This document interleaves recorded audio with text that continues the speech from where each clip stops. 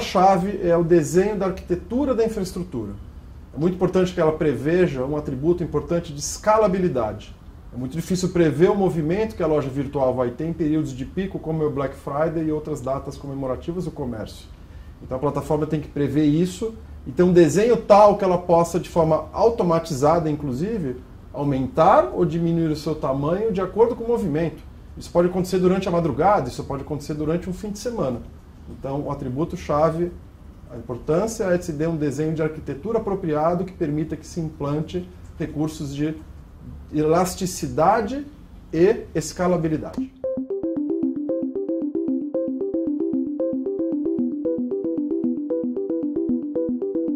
A partir do desenho da arquitetura que eu mencionei, com os atributos de escalabilidade, que ela pode crescer de acordo com a demanda, e, e, elasticidade, que ela também pode diminuir com a mesma questão da variação da demanda, naturalmente tem que ser feitos testes de carga, ou testes de estresse, como os especialistas mencionam. Existem métodos apropriados de se simular um determinado volume alto de vendas, um volume alto de transações, com a devida antecedência no planejamento, para que se possa ter certeza que o sistema está desenhado de forma apropriada em aguentar esse volume não esperado de vendas, que se espera que seria um sinal de sucesso da promoção.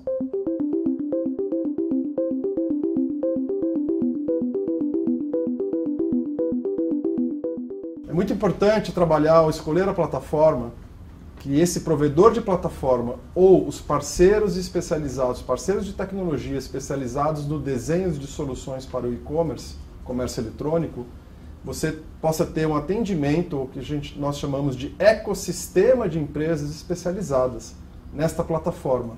Com isso, você vai poder trabalhar com especialistas, quem opera a plataforma e quem desenha a sua solução de e-commerce. Eu tô, não estou me referindo apenas ao website, ao que está por trás do website, a infraestrutura que fecha a transação, a infraestrutura que garante que o pagamento eletrônico está sendo feito apropriado, proteção contra fraudes. Tudo isso faz parte do fechamento de uma transação e a performance, o tempo de resposta do sistema e a questão do atendimento do volume de negócios, é muito importante que vocês trabalhem com parceiros ou integradores especializados em e-commerce. Escolham uma plataforma que tem cobertura no Brasil de especialização nesse tipo de solução.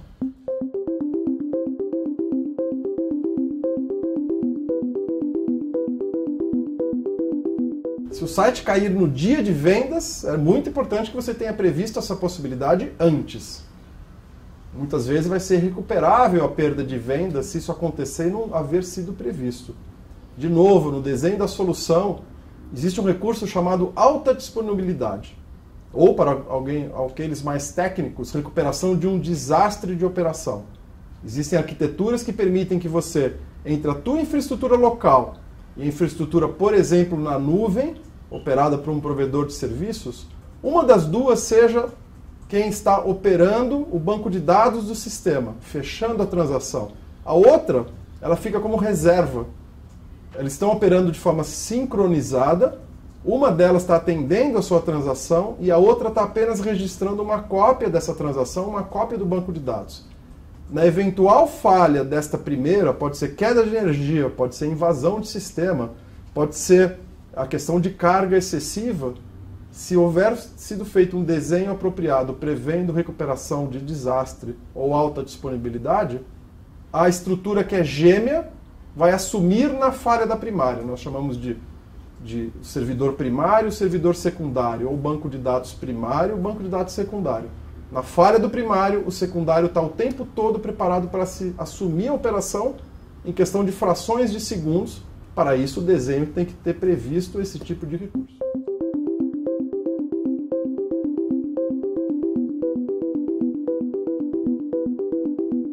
Nós falamos de flexibilidade, disponibilidade, escalabilidade, elasticidade. Eu acho que já está claro que nós temos que trabalhar com a devida antecedência, correto? Inclusive os testes de carga, os testes de estresse. Quanto antes o desenho da sua solução, o desenho da sua operação de e-commerce puder ser avaliado, uma arquitetura desenhada de forma apropriada por uma empresa de integração ou um parceiro de tecnologia que conheça esse tipo de operação, você vai ter mais tempo de fazer os testes apropriados, inclusive talvez num período é, não tão intenso do comércio eletrônico, algum período que anteceda Black Friday, que te permita, numa escala bastante menor e um pouco mais comportada, permita você fazer um teste real. Você pode ter a simulação, conforme eu comentei, você pode ter operação real ou testes reais com períodos menos críticos, para que você chegue com, no período da sua promoção, da Black Friday, bastante tranquilo contra a, a resposta do teu sistema, do teu site, para as diversas situações que nós estamos mencionando aqui.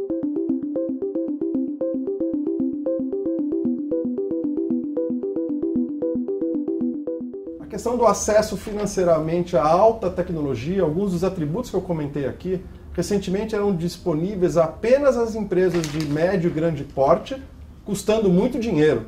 Tipicamente se tinha que montar uma infraestrutura própria com servidores, com sistema de armazenamentos, com sistemas, equipamentos de rede, tudo isso custa muito dinheiro, tudo isso é investimento de capital. Na nuvem, hoje, essa tecnologia, alta tecnologia pode ser contratada na forma de serviço, ou seja, despesa operacional e não investimento de capital, que tem que ser depreciado depois e tem que ser fatorado no teu negócio, implica em risco assumido financeiro.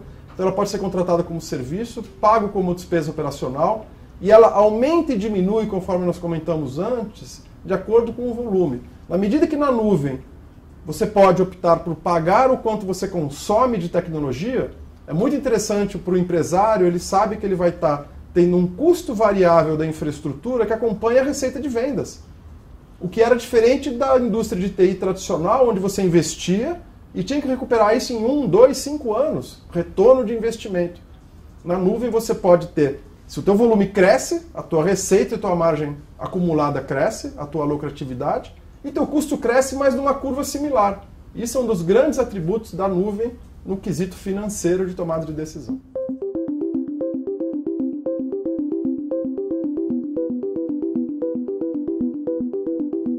Esse ponto é muito importante. Segurança, as pessoas associam só a alta tecnologia de proteção de sistemas ou associam muitas vezes apenas a roubo de dados. Não é só isso. Existe sim o um aspecto de segurança, proteção de perímetro de sistema, proteção à invasão, antecipação de uma tentativa de invasão de sistemas por um endereço de chamado endereço IP não usual de acesso ao teu banco de dados o administrador do teu sistema acessa o sistema sempre um determinado padrão de horário, determinadas é, partes do sistema. Já existe tecnologia hoje que é capaz de antecipar uma tentativa de acesso de um outro país, um padrão estranho de acesso numa área de administrador do sistema que está lá o banco de dados do seu cliente. Você pode não só hoje em dia apenas a reagir depois do fato ter acontecido, depois dos dados dos seus clientes terem sido eventualmente roubados tecnologia hoje acessível para a pequena empresa permite que uma tentativa de invasão seja percebida pelo sistema. Então, isso é segurança. Segundo aspecto muito importante, privacidade. E aí tem um misto de tecnologia, proteção de dados sensíveis como números de cartão de crédito, identificação de compradores, ou é a postura do teu provedor de serviços que esses dados são sensíveis, eles só vão ser acessados por aqueles que têm que acessá-los para a operação fim apenas e não vão ser acessíveis por mais por outros profissionais e muito menos vão ser comercializados como, por exemplo, uma, uma geração de receita adicional de marketing, de serviços de marketing. Como vocês veem, é um misto de tecnologia com posturas corporativas, com processos corporativos do teu provedor de serviço que vai garantir que ele tem o manuseio das suas informações apenas quando necessário, da forma necessária, apenas por quem tem que fazê-lo e inclusive não acessar os dados sensíveis do seu cliente se isso não for necessário. E muito menos tem uma tentativa de comercialização disso no mercado.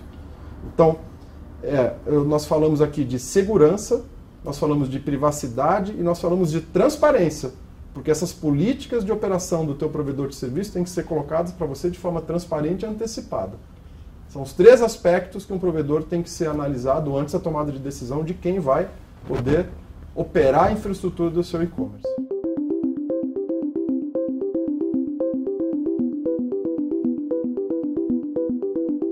Segurança e acesso dos dados dele. Não só você, provedor de e-commerce, para o teu consumidor, o teu fornecedor, mas principalmente no, no conceito que nós estamos colocando aqui, do provedor de serviços na nuvem para você, empresa de e-commerce. Isso que é o aspecto de transparência que eu havia inicialmente mencionado. Ou seja, você tem que saber antecipadamente como, quando, por quem, para que finalidade os dados dos teus clientes vão ser acessíveis e quando não necessariamente eles têm que ser acessíveis. E se houver qualquer acesso a esses dados, quando eles vão ser, como e quando vão ser manuseados, com que finalidade, quando vão ser descartados. E, numa situação extrema, uma garantia explícita que não vai haver uma tentativa de comercialização de qualquer informação sensível do seu cliente para geração de receita adicional de marketing, por exemplo. Então é muito importante isso que nós chamamos de transparência, que deve ser analisada juntamente com segurança tecnológica e com políticas de privacidade dos seus, provedores.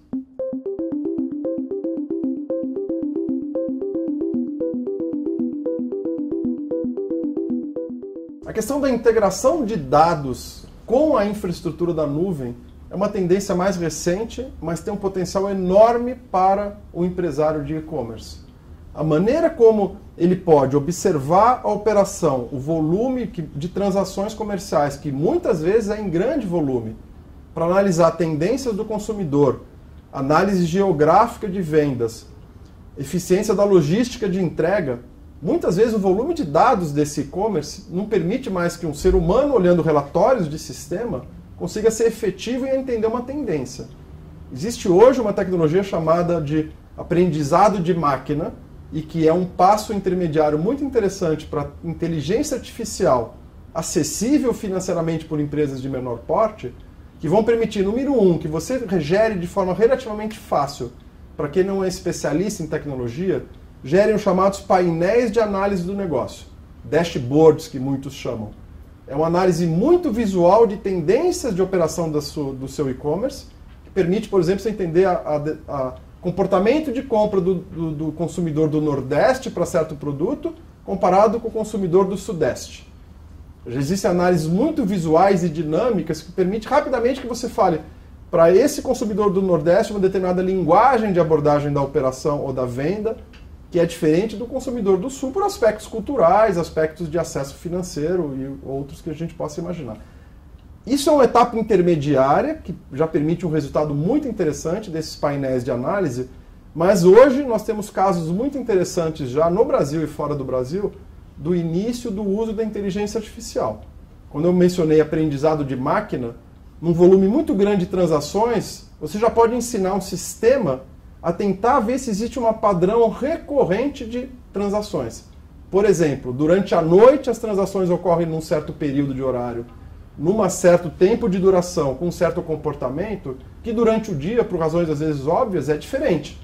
Os, os computadores são capazes já, com base em algoritmos, que são equações matemáticas, que são desenvolvidos por altos cientistas, mas que são hoje oferecidos por um custo acessível, permitir que você ensine o teu sistema a te ajudar a identificar um padrão.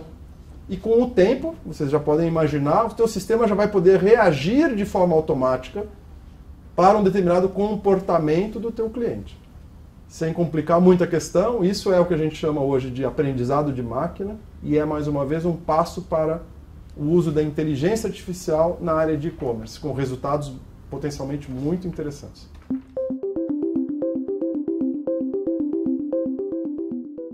Então vamos resumir o que eu pude compartilhar com vocês aqui nesse, nesse pequeno vídeo.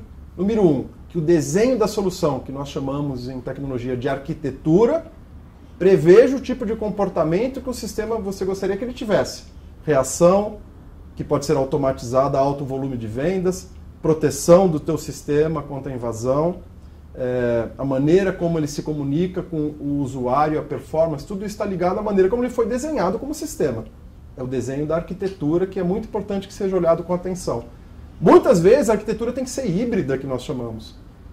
Ela pode ter que usar uma parte do teu sistema que já está na tua empresa e você estende na nuvem para, por exemplo, aquele exemplo que eu usei de recuperação de desastre, a interrupção do sistema quando um servidor ele para de operar e o outro assume. Isso é um tipo de um desenho híbrido que você vai integrar o que você tem dentro de casa com o que está na nuvem. Segundo aspecto, a questão de segurança e privacidade. Tipicamente a segurança é a preocupação número um, dois ou três de qualquer executivo que quer fazer negócios online. Isso tem implicações muito importantes, legais, imagem da tua marca, perda de vendas, prejuízo financeiro.